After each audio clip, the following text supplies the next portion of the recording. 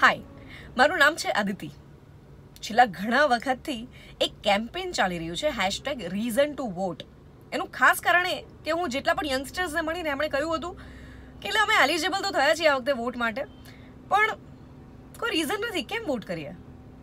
એ તમામ યંગસ્ટર્સને એ જણાવવાની ખાસ જરૂર છે કે એમણે કેમ વોટ કરવો જોઈએ. કારણ કે મારા જેવા લોકો જેણે બે વાર વોટ કર્યો છે, એને ખબર છે કે વોટ કરીને ક્યારેય કોઈ અફસોસ નથી થયો.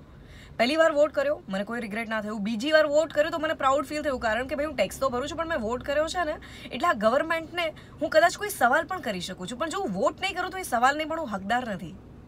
આ વખતે પહેલા તબક્કાનું મતદાન થઈ ચૂકેલું છે ને, હવે બીજા તબક્કાના મતદાનની તારીખ છે ચૌદમી ડિસેમ્બર. મીડિયામાં આટલા વર્ષો કાઢ્યા છે, એટલે ખાસ કહીશ કે કોઈ પણ ન્યૂઝથી ઇન્ફ્લુઅન્સ થયા વગર તમારી પોતાની બુદ્ધિ અને તમારા અનુભવનો નિચોડ કરીને સમજી વિચારીને વોટ કરવાનું ચૂકતા નહીં.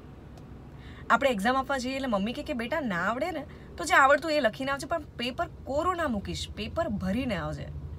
સેમ વેમાં કોઈ પાર્ટી કેન્ડિડેટ ના ગમે ને તો નોટા દબાવીને આવજો, પણ વોટ કરીને ચોક્કસથી આવજો. અને હા વોટ કર્યા પછી પેલો સેલ્ફી મૂકવાનું ના ભૂલતા.